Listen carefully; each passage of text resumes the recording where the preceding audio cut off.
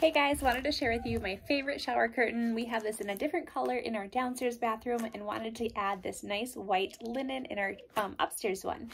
This is a textured shower curtain, making it super great. It's water resistant, easy to set up. We have it in the size 60 by 72, but it does come in multiple sizes, so that's really nice. Um, I'm gonna get this installed and show you how great it is. So it does come with these clips that are super easy to install. As you can see, I have them up on top. Looks so, so good.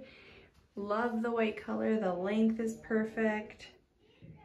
Really, really great product. I like to tuck mine in. We have the U um, shower head, so I like to tuck it in when I'm not using it, but I love the white, beautiful color. Here's the up and close picture, nice and textured. Really, really love the white. Um, and as you can see, it's nice and textured. Really great material here. This is also machine washable, and then you'll just wanna um, iron it when you get it on low heat. So really great, um, easy to use.